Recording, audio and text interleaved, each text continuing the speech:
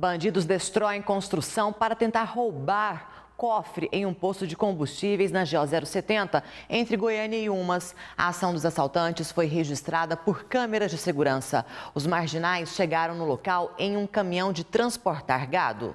São quatro horas da manhã. Um caminhão com uma carga de animais para no posto de combustíveis. Um dos bandidos desce, logo em seguida, ele amarra um cabo de aço no cofre, prendendo na traseira do caminhão. Reparem que nas imagens dá para ver bois na gaiola.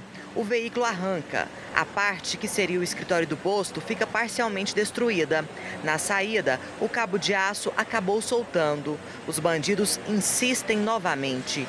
Mais uma vez, não deu certo. Eles então amarram pela terceira vez e derrubam todo o cômodo.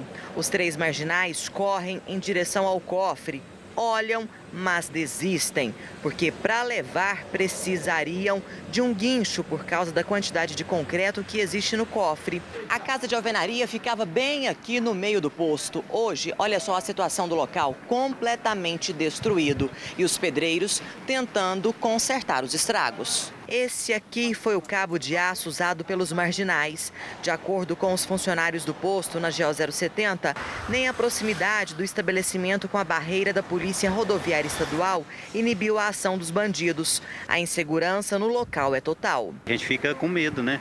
Porque a vida da gente está em risco, né? A violência está demais, né?